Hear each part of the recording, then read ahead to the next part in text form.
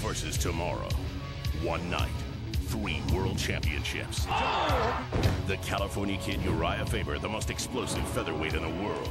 The undefeated and world number two ranked middleweight Paulo Filho and the Rhino Doug Marshall look to retain their titles. And finally, UFC legend Jens Little Evil Pulver makes his WEC debut. It's a WEC championship night so big, no cage will contain it. See it live tomorrow at 9 on Versus, presented by Rambo.